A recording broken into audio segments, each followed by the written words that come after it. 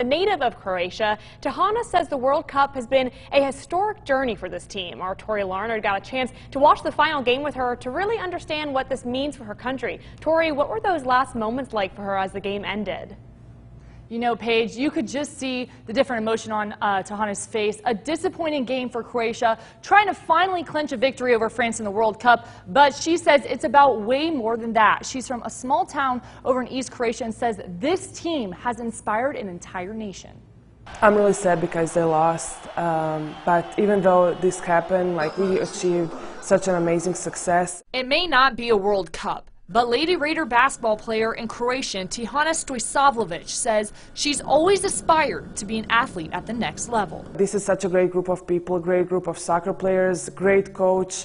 They're all really humble, they work really hard, and I think that is why that happened. Making it to a World Cup final is a mark in the history books for a country that's been through so much turmoil. We gained our independence in the 90s. So many people gave up their lives. Like I have um, one of my best friends lost her father in a war, and so many people don't even know where their relatives are due like to war for independence.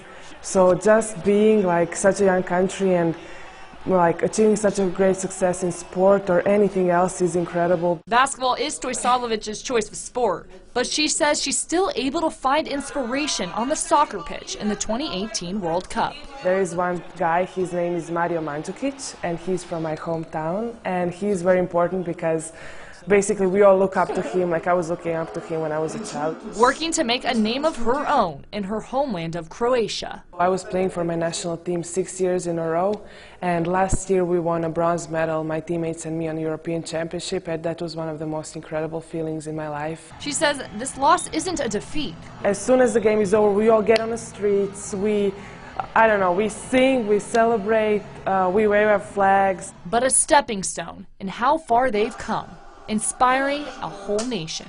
We really gave up a lot to get there, so it was really incredible. Now, the World Cup is over, but we're not done seeing Stojsavljevic yet. You can go watch her play in the fall, lighting up the court at some, with some Lady Raider, Raider, Red ba Lady Raider basketball games.